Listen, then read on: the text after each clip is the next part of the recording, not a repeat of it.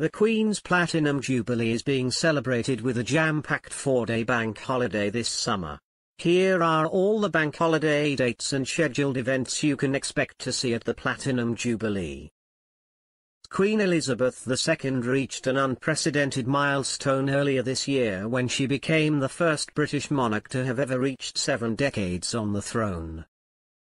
In light of her impressively long reign, the nation is pulling out all the stops for the Queen's Platinum Jubilee this summer with a bumper bank holiday weekend. Read on for all the key dates and schedule details. When is the Queen's Platinum Jubilee Bank Holiday? The Queen marked the start of her Platinum Jubilee year on February 6, 2022, the 70th anniversary of her accession following the death of her father, King George VI. But the UK's four-day bank holiday weekend for the Queen's Platinum Jubilee will not run until Thursday, June 2 to Sunday, June 5, 2022. The usual late May bank holiday has been moved to Thursday, June 2, and an additional bank holiday has been granted this year to mark the Queen's milestone, falling on Friday, June 3. For a full breakdown of the main events taking place across the Jubilee weekend, see below for the schedule. Thursday, June 2nd. Trooping the Colour will undoubtedly be the highlight of day one of the Queen's Platinum Jubilee weekend. The Queen's annual birthday parade will see more than 1,400 parading soldiers, 200 horses and 400 musicians go on parade in central London, moving from Buckingham Palace down the Mall to Horse Guards Parade.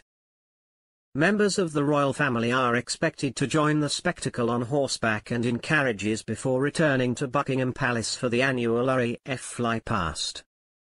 The Queen and other royal family members will watch the event from the palace balcony, where they will also wave to the gathered crowds.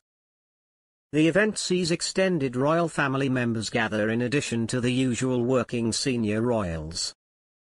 More than 1,500 beacons will also be lit on this day across the UK and the Commonwealth to mark the Queen's Platinum Jubilee.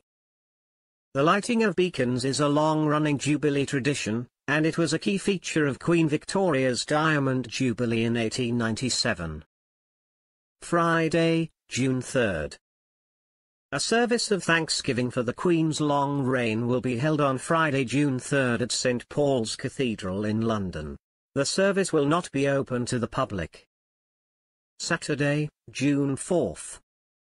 The Derby at Epsom Downs will take place on Saturday, June 4th, and it is expected that the Queen and other royal family members will attend. The Queen is famed for her love of horses and racing, so this will undoubtedly be a highlight of the Platinum Jubilee weekend for the monarch. Later on Saturday, the Platinum Party at the Palace will be staged and broadcast live by the BBC. The concert will take place live at Buckingham Palace and has been billed to include performances from several of the world's biggest stars. Sunday, June 5th. People across the UK are invited to share friendship, food and fun with neighbours during the big Jubilee lunch on Sunday, June 5th. Communities across the nation are being urged to share a picnic, barbecue or tea and cake session to mark the final day of the Queen's Platinum Jubilee celebrations. The Platinum Jubilee pageant is also being held on the Sunday, and it promises to tell the story of the Queen's 70-year reign in an awe-inspiring festival of creativity.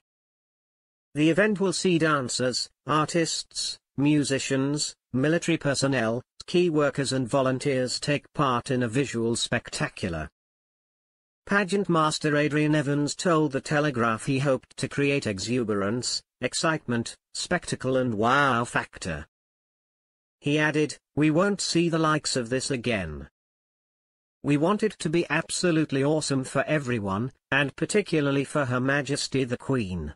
We want her to feel we have done her proud.